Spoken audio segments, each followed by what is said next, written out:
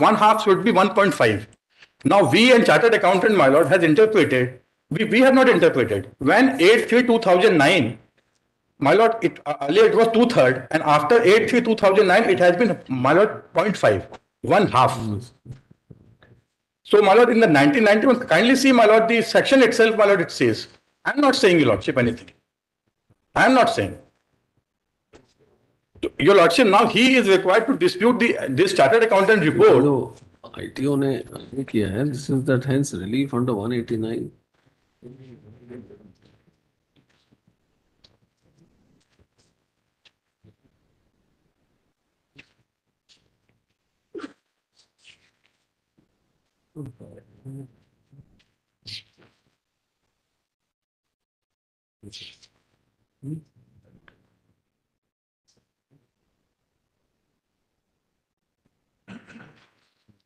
Mm-hmm.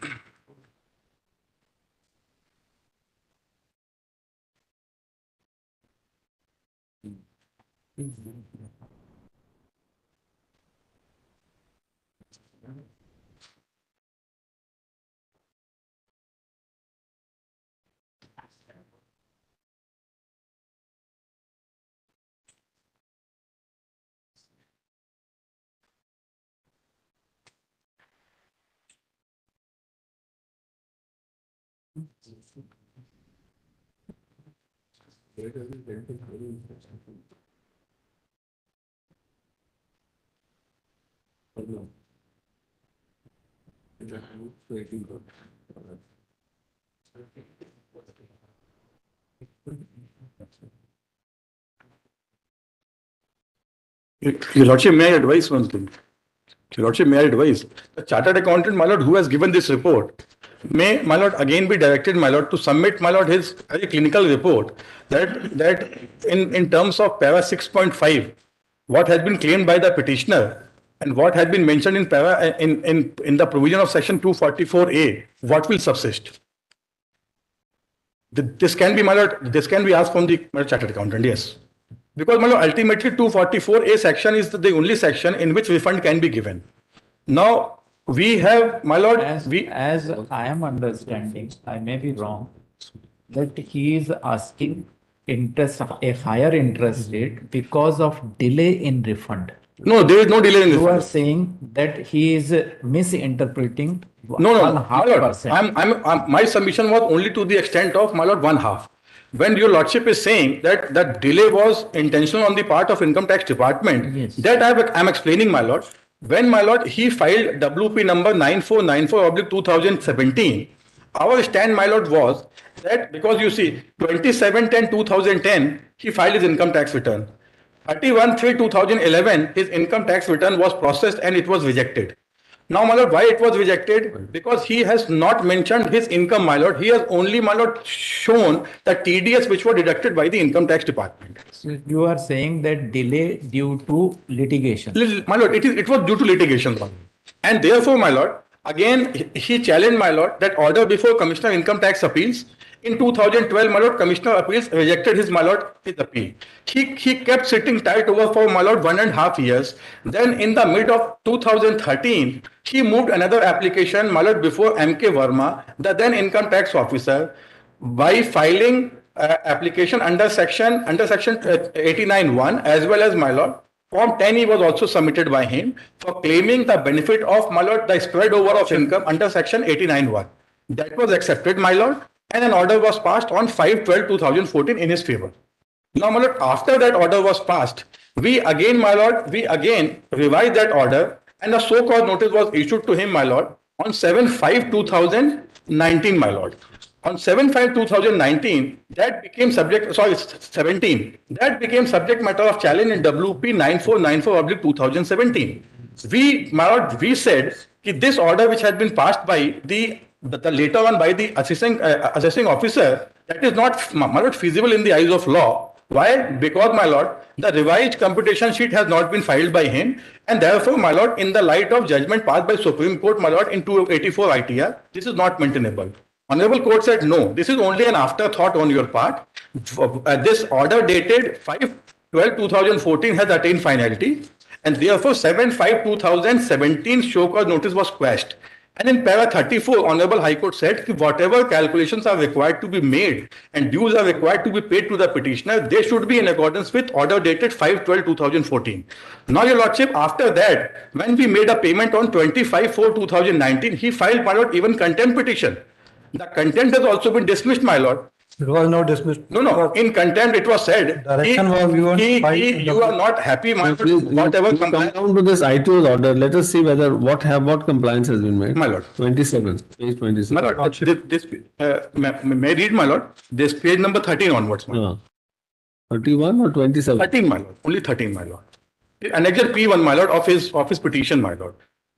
If my lordship will allow me to complete, my lord, that will make entire picture clear, your lordship. Now, paragraph three, my lord. This is the answer, my lord, of, of the, of the rate of interest which has been applied, my lord, in the case of petitioner.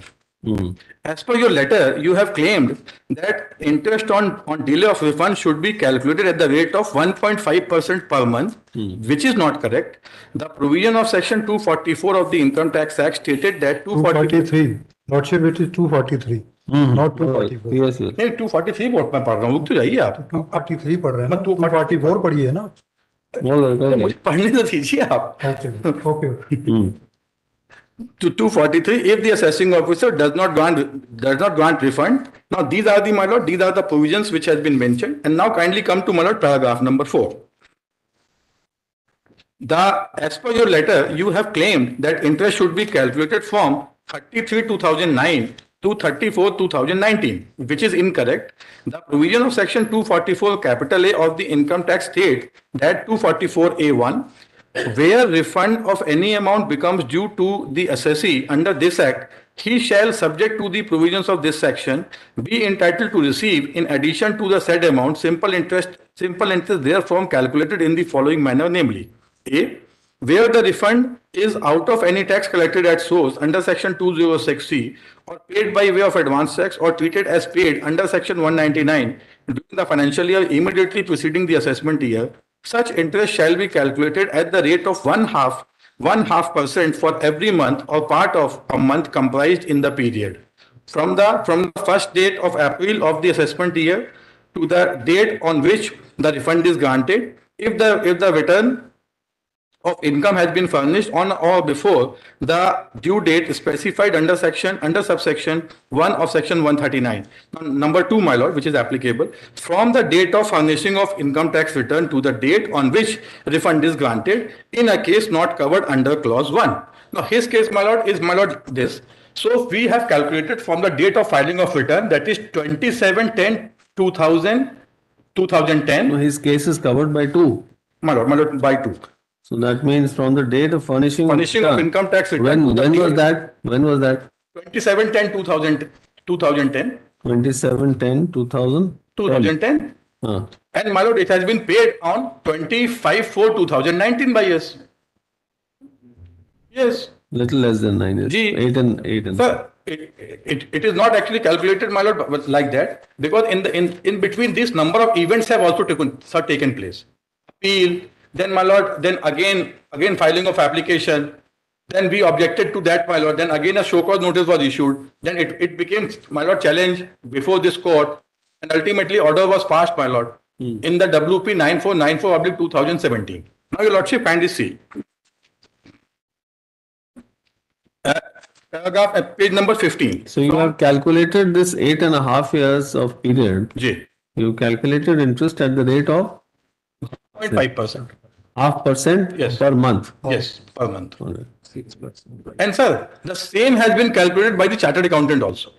Now, your lordship, it is for him because last time, my lord, what he was saying that the report of chartered accountant has been not given to him in its entirety, my lord. All right. Half a chartered accountant report has been given. So, my lord, here we are only required to see whether the income tax department has complied with the order dated 5-12-2014 in terms of order passed under uh, by this honorable court in WP 9494 of 2017. इनको सुन लेते हैं फिर हैं yes आप बताइए Yes, Lordship. क्या response है आपका CS report Uh, report. See a report. Lordship, kindly see order passed by this honorable court on 29/8. Hmm. I am reading it. After hearing petitioner in person and Sri Lal, हैं आप? Standing counsel, Which, which para? uh, second para of Oh. order dated twenty-nine eight, two thousand twenty-two, on which basis the, the report has been called. What no, I am saying no, that no, let us, points are not covered in this report. which point? Lordship, I'm reading second para, Order dated? twenty-nine eight, two thousand twenty-two. Yes. After hearing petitioner in person and Sri Lal learned for such standing counsel, this court is of the considered view that since the matter pertains to income tax and deals with various provision of the Income Tax Act, including provision regarding grant of relief under section 89(1) of the Income Tax Act, it would be appropriate to seek opinion of an expert in this field. Lordship thereafter. The sole question which arises is that after the decision of the coordinate bench of this court is rendered on 14 to 2019 and WP number so and so, wide and except P10, where the amount of total refund is 2 lakh 5,030 and interest over the same amounting to rupees 1 lakh 8,650 held to be payable by the revenue is the correct figure as per law or not. Again, the petitioner claims that the principal amount ought to be two lakh eighty-one thousand seven ninety-seven instead of two lakh five thousand zero thirty. Now, as per this order, three points has been raised. That is, first, uh, first is section eighty-nine, one, it is to be explained. Second, whether the petitioner is entitled for two eighty-one or two lakh five thousand. I am demanding two eighty-one. They are giving me two lakh five thousand. On that point, the report is silent. On eighty-one nine section, the report is silent. They have given only arithmetical calculation. On section two forty-four. And I have challenged that two forty-four is not applicable in my case. Because I have got the refund by order of this honorable court. No, the difference, by this, this difference which is coming is only because of the rate of interest. rate of interest. There, Rate of interest and amount of refund also. They have taken the basic amount as two lakh no, but five thousand. is it there in the uh, ITO's order? Because the, in the earlier round, they had said that whatever has been given by the ITO, that will, whatever benefit is there, that will flow to you. Lordship kindly see and This exhibit. is, uh, you come to, No, Page 20. the previous round of uh, litigation, Please. You know, we, we cannot go behind the previous round. This no, is, no, this I is, not go, uh, आपका जो होगा behind the previous round नहीं आपका जो petition है he have also quoted the previous round आपका जो, C N execution आपकी जो पिटीशन है वो more or less is like an execution application of the earlier round No, no. That you want to implement what, that. What the Honorable High Court has said in previous order, that has been com not complied by them. So kindly see an excerpt P7. जो previous order है, वो उसमें क्या कहता है वो?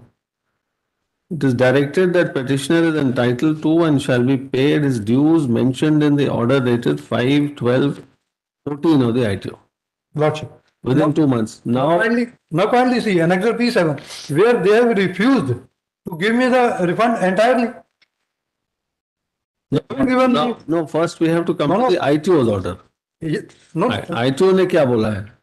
ITO order is five twelve, हाँ, page 20, 26, Lordship. 27. that is an